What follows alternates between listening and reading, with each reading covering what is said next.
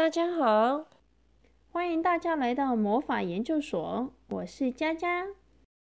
今天跟大家研究的是《Cinemental》，中文名字叫《心灵戏院》，是 Nicholas Mafrasis 的作品。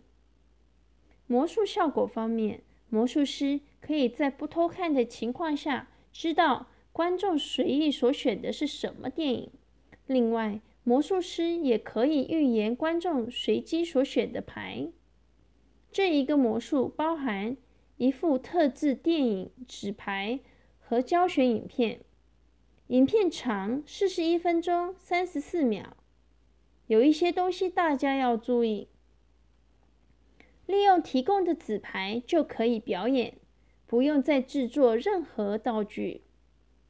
提供的纸牌是由 USPCC 公司制作，所以品质都是跟平常 Bicycle 的纸牌一样高素质。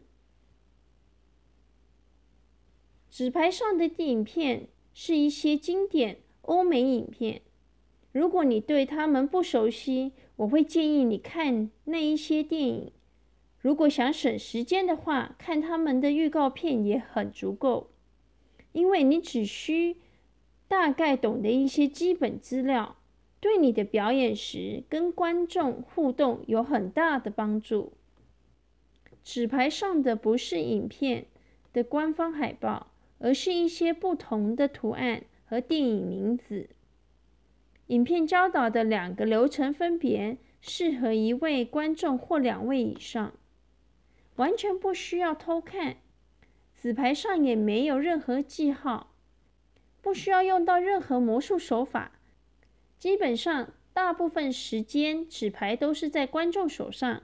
要注意的是，观众不能慢慢详细检查每一张纸牌。表演方法非常聪明和简单，纸牌上的图案也非常漂亮。心灵戏谑让观众觉得魔术师完全操控观众的思想，不论是脑海中所想的图片，或者是随意的选择。一切都在魔术师掌握之中。